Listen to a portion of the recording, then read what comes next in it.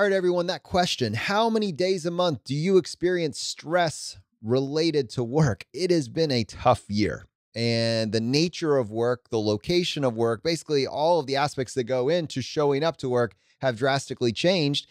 Is it been net positive? Is it intolerable? Somewhere in between.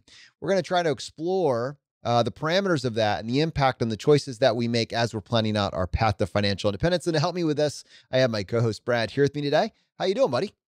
Hey, Jonathan, I am doing quite well. And and yeah, to your point, the nature of work, the very nature of work has changed dramatically just in the last year and change, which is, I mean, quite literally, it's a sea change, right? And we don't know what it's going to look like going forward. And that is both scary and really, really exciting for a lot of people, right? Like all of these things that we've just taken as as sacrosanct, right? Like as part of just this is how you do work. Well, we can question them now, right? And I think that is a really cool aspect just of general society right now and also the FI community, right? Like we are always at the forefront of thinking a little bit differently. And what does that look like for you, Jonathan? What does that look like for me, Brad? What does that look like for everyone listening to this, right? Like, what do you want your days and weeks and months to look like? And maybe they that answer can be a little bit different than it was in January of 2020. And again, I think that's exciting. It is exciting. The other thing that's exciting is that we rapidly have our Red X month approaching. And uh, we, I think, I think definition of terms to be really important, but it's one that we've been using uh, for a couple of years now, and it's one that's become pretty sacred to the Barrett family household. But last year, it was kind of ripped away from you to some degree. Oh, it was. It was. Unfortunately, obviously, obviously, unfortunately. But uh, yeah, our buddy Vincent Puglisi was on the podcast years ago, and he introduced us to this concept, right? So it's basically when you control your schedule, you get to look at your calendar, you get to take a nice red marker and put a big old red X across a month or months of your choosing, right? And Jonathan is uh, gesticulating wildly here in the background with a with a red marker. Shout out to any uh, West Wing fans out there. That's one of my one of my favorite quotes. Um, and yeah, I mean, you get to take this red marker and put a big red X over a month. And we have picked the month of August for our family. So, in essence, uh, the last couple years prior to 2020, we basically said, all right, August, kids aren't in school. We're not uh, stuck around swimming schedules, which is actually probably one of the biggest impediments to us uh, traveling and, and doing what we want is uh, swimming meet schedules at this point. But uh, August is just a month we can do what we want. So we spent basically a month in England and Scotland in 2018. We spent basically a month in Maui, Hawaii in 2019. We are going to do Alaska last year, but unfortunately that got canceled. So, yeah, I mean, now it's exciting, right? I mean, the world to a large degree is is on the precipice of o- opening back up here. And, you know, Jonathan, August 2021 is coming right around. So, yeah, we're preparing that marker to put the big red X and say, hey, we can do what we want, right? Like we are not beholden to a schedule or a location or a job or whatever it is, right? Like we can do what we want. And I think that at its essence is is the fundamental benefit of FI. That is it. And to be honest, you know, Brad's uh, Red X month kind of got decimated last year, so there's some there's some makeup required here. You don't lose a Red X month, you double down the next year. Anyways, I'm just kidding. But what Brad and I did decide to do for the summer is uh, we are going to go to one episode a week for the summer period of time. It'll just take less coordination. It'll allow for a little bit more flexibility and freedom over the summer. And hopefully um, all of us will be able to spend a little bit more times with our family this summer and this will be something that you know we're celebrating this right along with you guys. So wanted to give you the heads up on that. But you know i think part of it goes back to this idea just generally of the the Mexican fisherman. Have you ever has anybody anybody familiar with this analogy? We we actually dropped it on the show a, a, long time ago, and it's not one that's unique to us. It's been around for a long time. But the analogy goes, or the uh, the story goes, something like this: You have this Mexican fisherman on the beach, uh, and you know in the morning he fishes, in the evening he brings back his catch and he and he spends it with his family. You have this American businessman that uh, goes down there and has all these suggestions for how he can scale and he can grow. And he's like, all right, well, you could, you know, you could buy two boats and then you could get a team of people, take out some loans so that you can do all of that. Uh, and then you'd be able to run your operations and bring in 10 times as much money. And the Mexican fisherman keeps pushing back and says, why? You know what, what well then you'd be able to get more and then be able to scale more and then be able to get bigger and you'd be able to grow farther and you'd be able to grow faster. And he says why? And he, why? And why? And why? And he's and the, and at some point the american businessman said well at, well then at that point then your time you have all the freedom of your time and then you can just spend your evenings with your wife and kids and your family. And the Me- mexican fisherman says well i already get to do that. You know i'm already there. I already have i already have time freedom. I've i've built out this foundation for what i need. I, I have you know, I have already time on my side. Do I really need to lean into this, you know, this lifestyle that you're describing that doesn't really sound that appealing to me when I already have it? And it's really, I think it's for us in the financial independence community, that should resonate with us a lot. Maybe not the exact analogy, but rather, what are we pursuing? What is the goal? Is the goal to get, you know, fame and recognition and wealth? Or is the goal to reclaim our time and put our most precious non-renewable resource into the to the people the relationships the community the things that matter to us the most. And a lot of us just have no idea what matters to us the most. And so we just kind of latch on to what society tells us to do which is to hop onto the american businessman approach and just have more of everything but that may not be necessary. And so brad i think that analogy is really critical for us and it's kind of been a guiding light and we've actually seen this from people who kind of came before us in this in this space, like Brandon the Mad Fientist and uh, you know Pete from Mr. Money Mustache and many many others, where at some point, yeah, they could keep you know doing whatever it is that they're doing, but it's kind of like, well, what is my why of this? And even Vicki Robin, when you think about it, what is my why of this? It is to spend more time with my community, with my family. And I think that's just like really important for all of us just to keep in mind as what is your why? Yeah, and as you were going through that story, I mean, just so many just short little little words popped in into my head, which are balance. Enough, right? You said I'm already there, right, in that story. And and Vicki Robin with her her life energy, right? That's what what she talks about. And and I think it's so easy for all of us to get out of balance right? I think that's uh that's something you know a lot of us who are in this community we are you know sure we we've taken a somewhat as you would say like get off the hamster wheel type approach a countercultural like we're not necessarily hard driving in the sense that we need to just accumulate tens of millions of dollars. We understand when it's enough but I think many of us are because of the sheer fact that we're driven to get to this point of financial independence, we are driven, right? And we don't know sometimes where to find that balance. And I think I think it's always important to find that that center, right? And I think I think that's something Jonathan you and I have probably spent I mean a hundred plus hours talking about on this podcast of just the psychological aspect of the path to FI and just how important it is to just keep coming back to what do you want your life to look like? Right? Like, why are you doing this? What's the point? It's not just instead of measuring your success in in number of dollars in your bank account like in a normal normal society you know then it's not just like hey, what's my savings rate, right? Like, hey, let's compete over our savings rate or let's compete over anything. There should be no competition. It should just be, okay, this is maybe the first time in my life I can figure out what do I actually want my life to look like?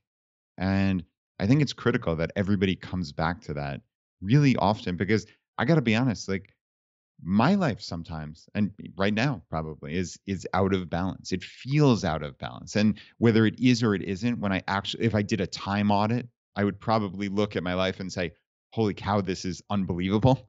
You know, like it's amazing how much time I do have, but sometimes it doesn't feel like that.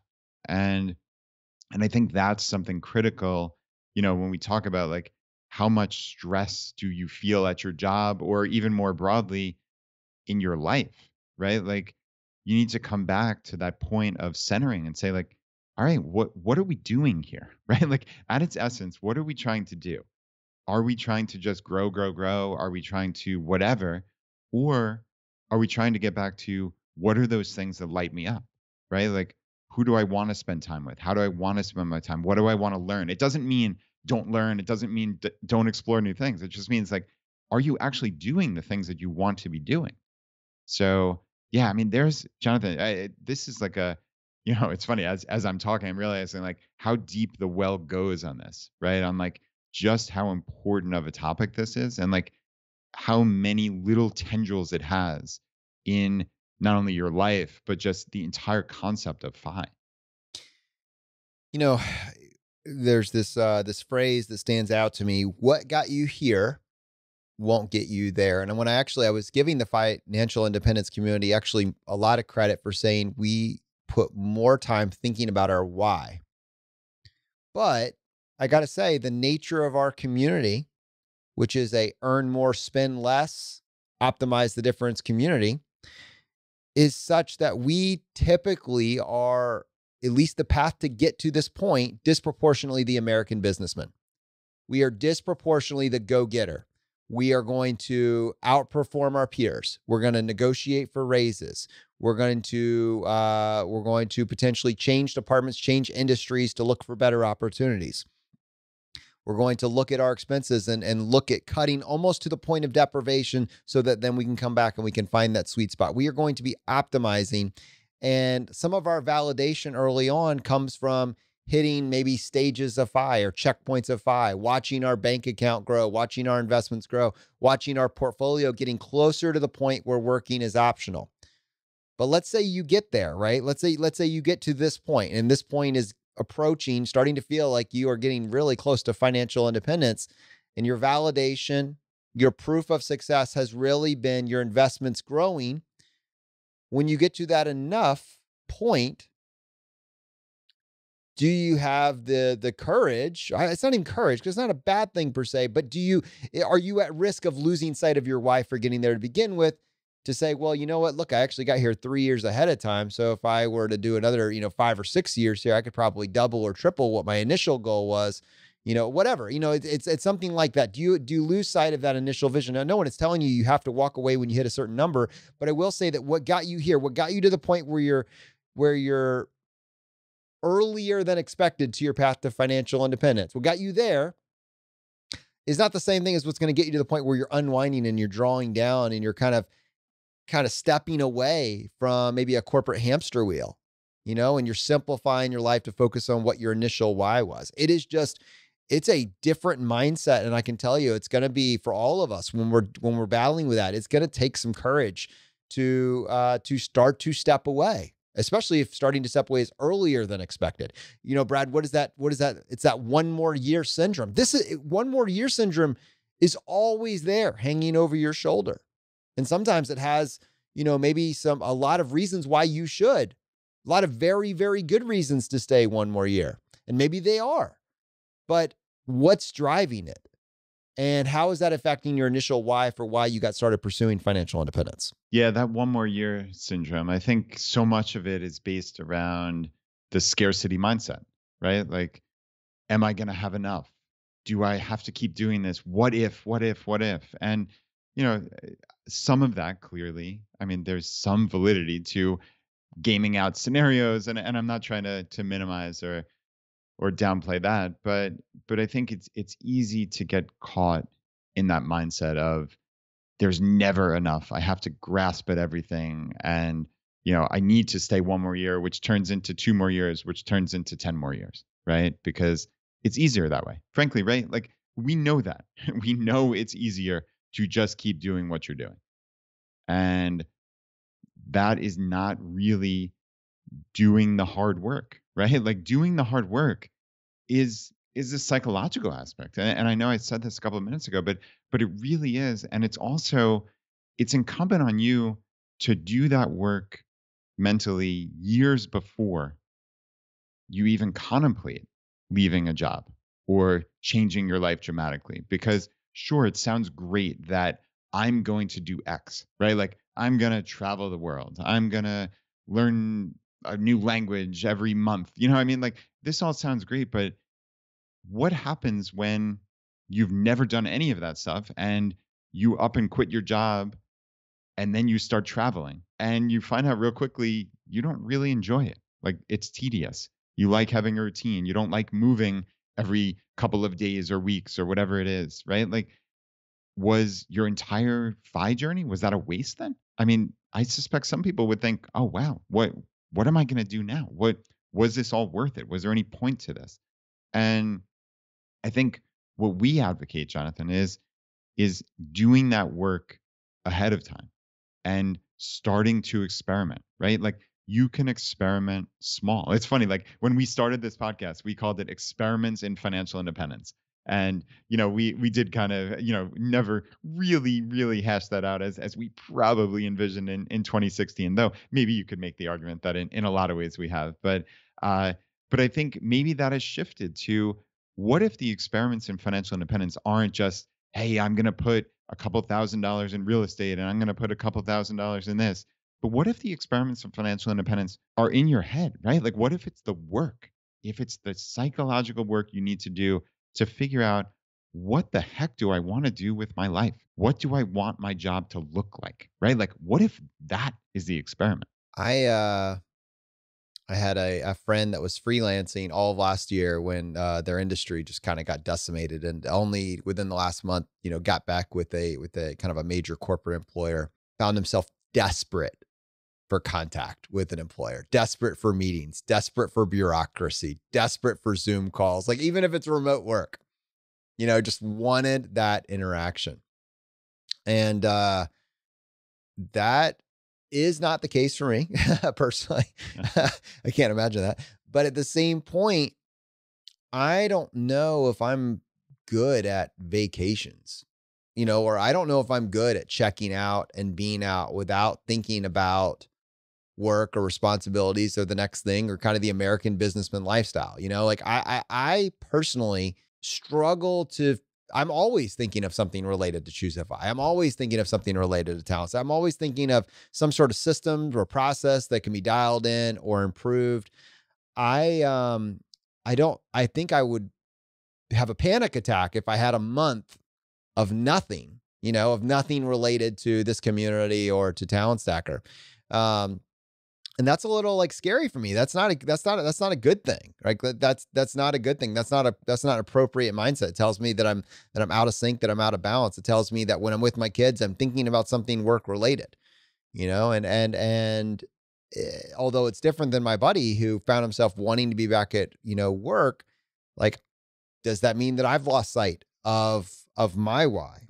Now I don't, I, you know, I'm, I'm I'm putting this on public display for consumption to prompt other people to kind of go down their own path and figure out is that true for them. But to really be able to be somewhere and get contentment from you know working on a uh, I build a tree I build a little birdhouse with my son yesterday uh, yeah my wife got us this hobby lobby type project and it was I mean it was horrific the thing just I mean it, we were dealing with glue and a hammer and the nails and you know these nails are basically made out of aluminum foil you take one bend that's slightly out and it just bends in half and and anyways well, that being said, but that was the, so a very low stress endeavor. I take it. it was horrific, but that was like the first time I'm doing this project with my son, and I realized like over the course of this 30 minutes of frustration, um, I wasn't thinking about anything else. I was, and I was like, how often is this the case where I'm working on a project that's creating something that does not involve sitting in front of a computer?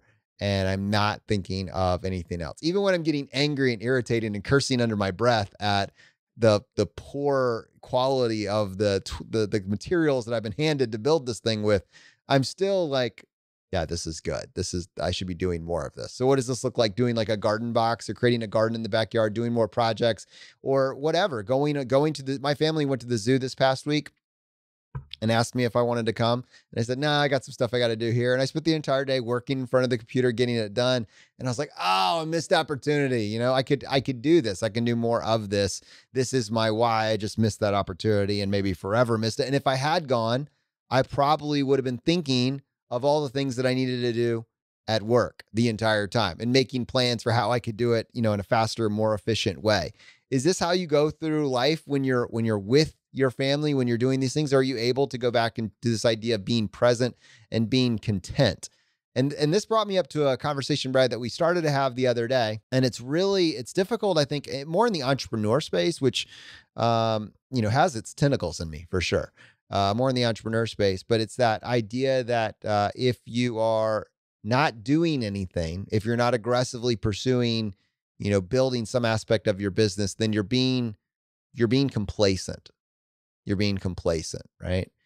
And I don't think the entrepreneur community generally has any notion of what contentment means. You know, it's it's no, not contentment. It's no, we're going to be relentless. You know, that's let's trade it for that. Um, contentment is a sign of weakness, and that's something that you know. I wonder I feel like you've done generally a better job handling this. And I don't know exactly why that is, because uh, to be honest, of the two of us, you've kind of been in the entrepreneurial space for longer. Um, but I do feel like you're at least one or two steps ahead of me on the contentment side. Yeah, well, thank you. I'm I'm not sure if that's necessarily true, but uh, but but uh, I guess I've tried, and I I think uh, maybe that's that's something that it has been in the back of my mind of of that work life balance you know and and this gets to you know stress and what are we doing right? Like as you were saying like there's so many echoes of what you described from the entrepreneurship community to just regular life right? And how the FI community differs which is you're even saying like okay if i'm not thinking about how am i going to grow? How am i going to make this bigger? How can i work on this? How can i make this more efficient? Like then i'm i'm wasting my time or i'm not working hard enough right? Like we see that in in regular life, right? No, in just a regular W two job, you know, like most of us have. And like, if you're not trying to get a new career and and get an advancement and get a raise and get a new job title, like, then you're failing. You know, like that's that's the common societal sentiment. And I think those of us in the FI community have said, no, no, no, that doesn't have to be the goal, right? Like, I can have enough. I can figure out a path to have enough. Maybe like we talked about, I mean, this has probably been hundreds of episodes since we talked about this, but like, what about what if you had that power, you know, that uh that FU money, as we say, the uh, freedom unlimited money, right?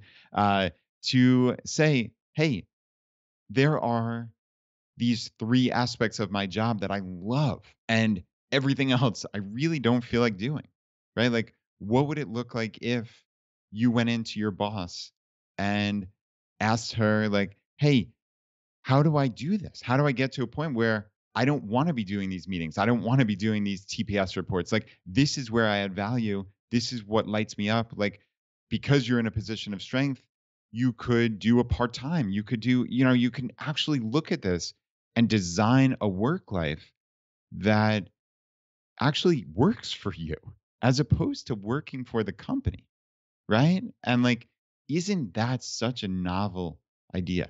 Right. And I think Jonathan, if I have done one thing right in in entrepreneurship, it's that I've understood where I can potentially add value and I've understood where like what lights me up and you know what like I, I kind of as woo woo as it sounds I kind of like follow my energy like and I, and I find that because I've found one of the things I do when I'm not interested in, in, doing something is I procrastinate. Like I am the worst procrastinator in the world when it's something that for whatever reason I have this like mental block about. But so then I realized, okay, I'm going to be the constraint in the system, right? And like how many times have you heard me say that? Like I don't want to be the constraint, so dot dot dot. And that means like if I'm if it means like going to a meeting and just like with my negative energy because I don't want to be there, like just I have witnessed that negative energy on a meeting, and I wish you weren't there either on some of those. Yeah, right. Oh, it's horrible. Like, nobody wants me there. So, like, uh, the so constraint I is here. Oh, great. I see who we got today.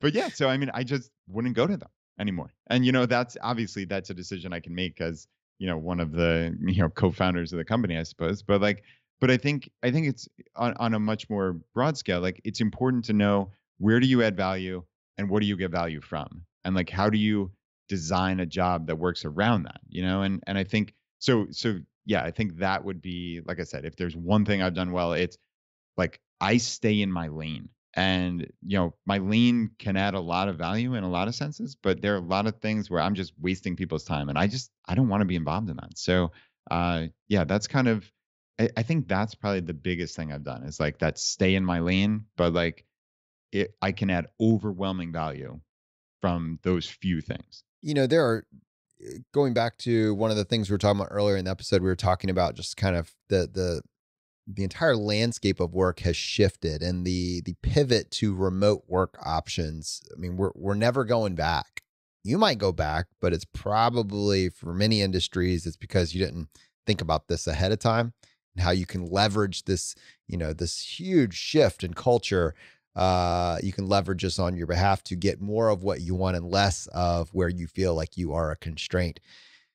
Every company is pondering the implications of not having to have as much uh, real estate for their operations. Um, and whether or not is net positive or net negative, they are seeing some, uh, they're seeing massive positives. There's a few things that they're concerned about. Uh, but you as individuals have a chance to be a squeaky wheel and to think through what is the ROI that they're looking for. Look at it from your employer's perspective and then present to them an opportunity to save money and increase ROI and get more, you know, get, just get just unlock the doors of opportunity by encouraging a potentially at least occasional remote work policy.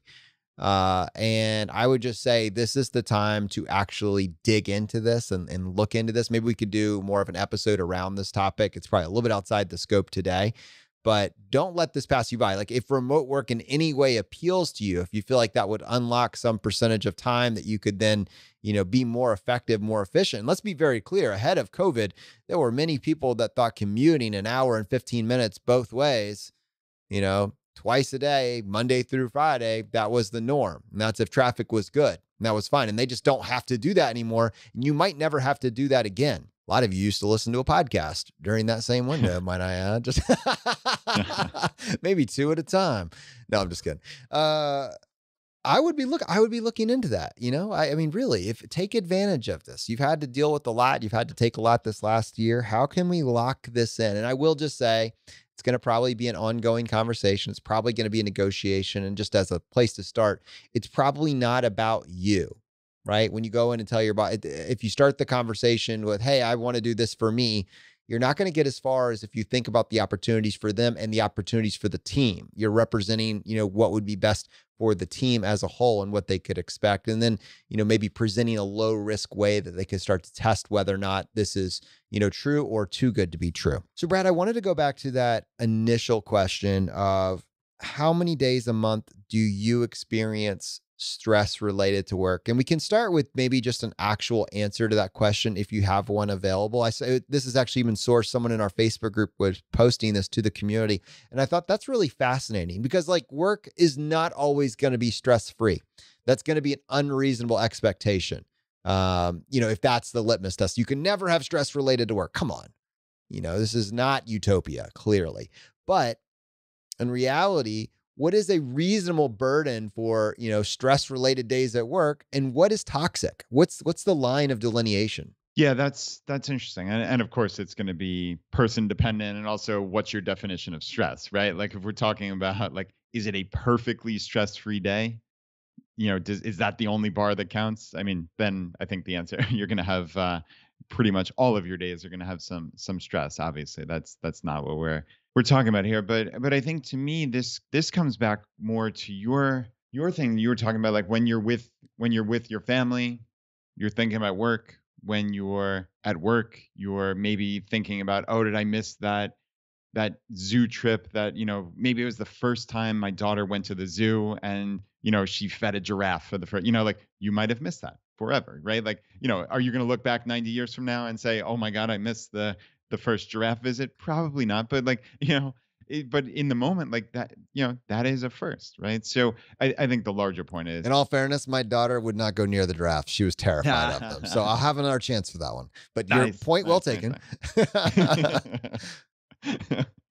oh, that's great. Um, so I mean, to me, like where where I think I experience stress the most, and again, this goes back to like know thyself and and do the work, right? Do the mental work. Like if I am looking on an absolute basis, my stress level is very low, but that doesn't mean day to day I don't feel stressed and I don't feel significantly stressed because I I actually do.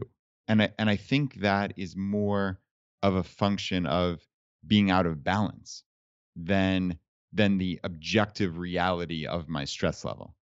And that doesn't minimize my feelings or my thoughts, right? Like it doesn't minimize those that concept of stress by any means. But but I think on an intellectual level, I do understand that it's like a a very low absolute level of stress. But I think I think when when I really get down to it, it's it's that feeling of being kind of half there no matter where you are Mm, right? Mm. and and that is just not it's not a good feeling and it's not good enough.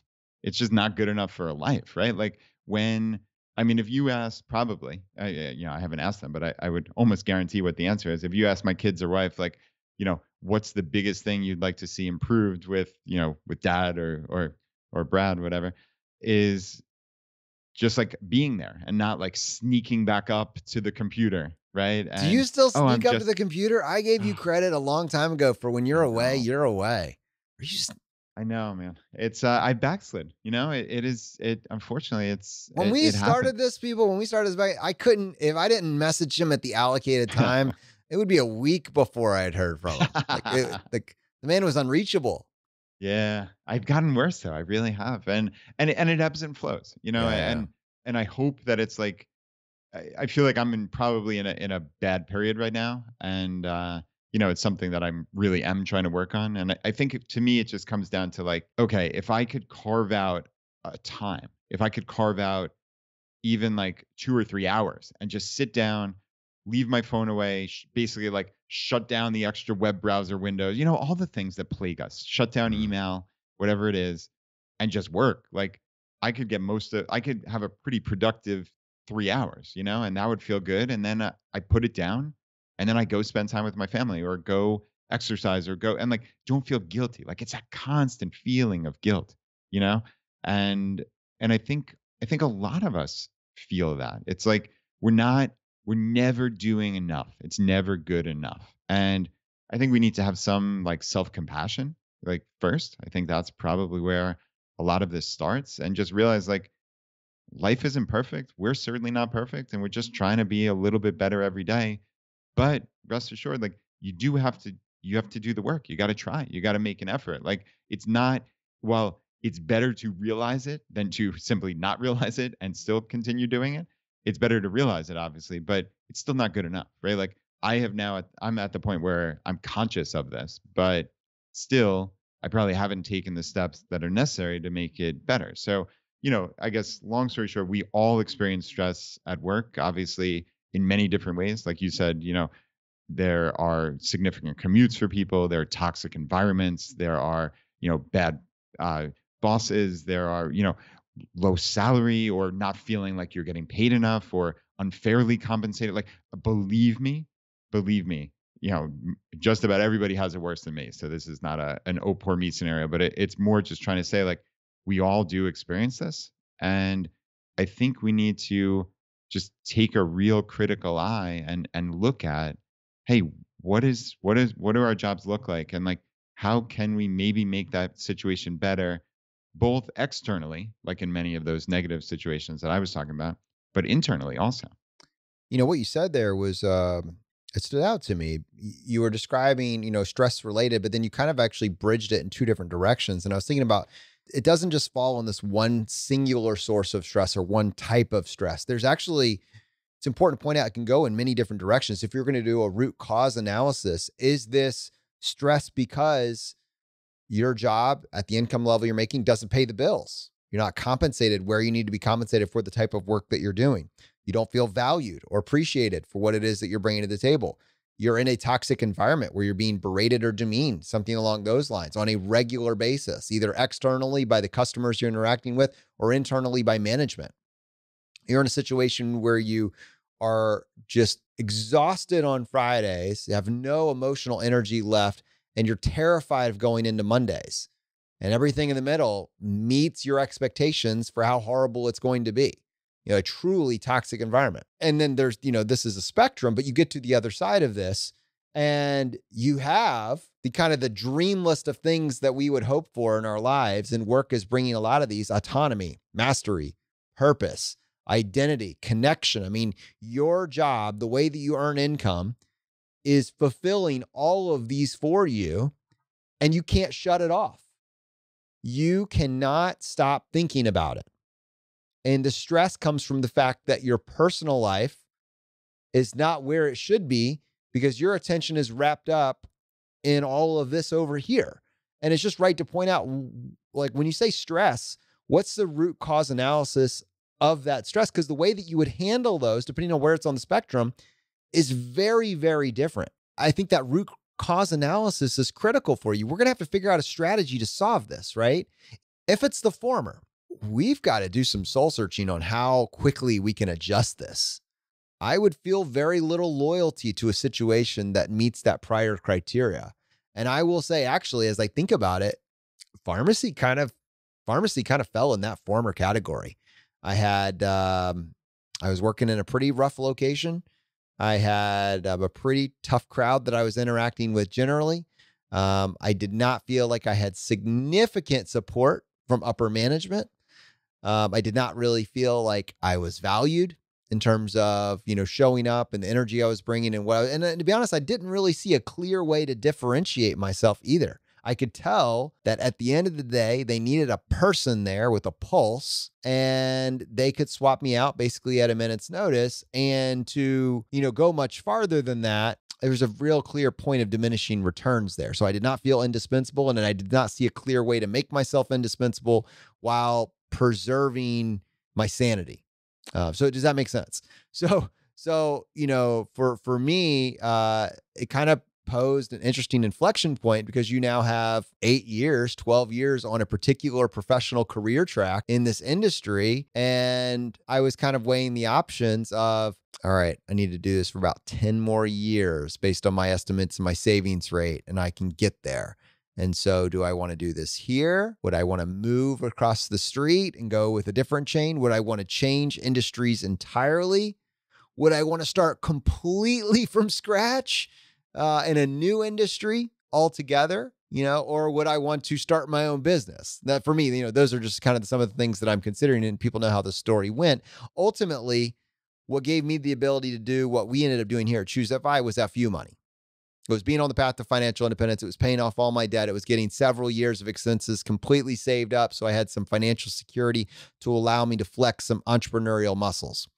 Uh, in retrospect, if I knew I mean, now, I mean, I'm very, don't get me wrong, I'm very happy we did what we did with Choose FI and it's worked out beyond my wildest dreams.